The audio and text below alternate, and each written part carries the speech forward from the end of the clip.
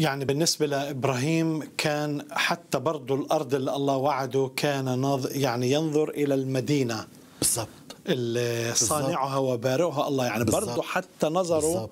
مع الوعود ما كانش على العالم على المنظور آه. آه. كانت على المدينة السماوية. آه. بالضبط. بالضبط.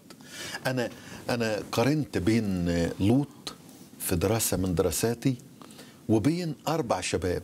ولما أقول أربع شباب أعتقد عدد من المشاهدين كتير يعرفهم. أربع شباب لوط راح بمزاجه لسدوم واختارها بمزاجه. لكن دول اتاخدوا قهرا واتاخدوا سبيا لما نقرأ دانيال واحد نعم. نبوخذ نصر حاصر أورشليم أيام الملك يهوياقيم تقريبا سنة 605 قبل الميلاد.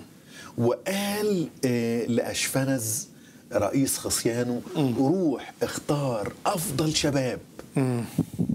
من بني يهوذا نسل الشرفاء الأمراء.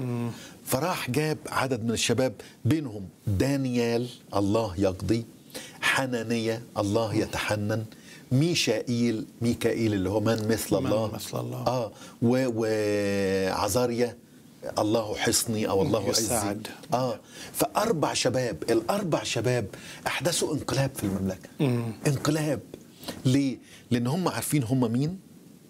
وهم موجودين هنا ليه؟